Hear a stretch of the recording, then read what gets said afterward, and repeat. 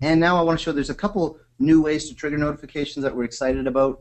Uh, you can set up a database trigger. So if you insert data into maybe your Oracle or your SQL Server, Yep. that trigger can then send a notification to FME Server and do something else. Right, right, right.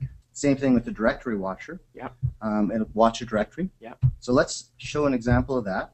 So again, here you could have an FTP site, and you could be watching the the um, you know if, if you could be watching the directory, and when anybody FTP'd a file in, you could trigger a drop job, or you could be using Dropbox, and when anybody put a file in a specific directory in Dropbox, you could use it, or even in a, within an organization, it could just be a shared file system within the organization, and people again would just drag and drop files into this directory, and uh, FME server would just uh, run then.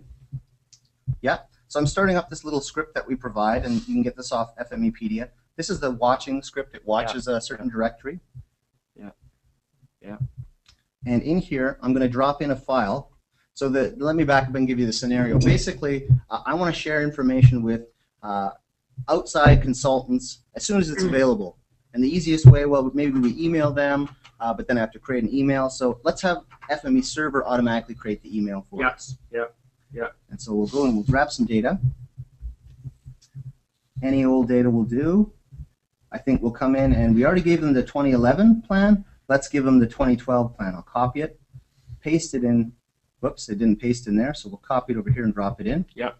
And this thing Sees Sees it. that. Yeah. tells FME server about it, and FME server is configured to send out that email to whoever we want. Okay. So in here, here's your data. I come in, and I've configured it to actually give me the option to immediately download that data. Yes. Yes. So the data itself is lo- stored locally. It was wasn't an attachment. That's correct. Yeah. Good. Good. Yeah. Good. Yeah. Excellent. Yeah.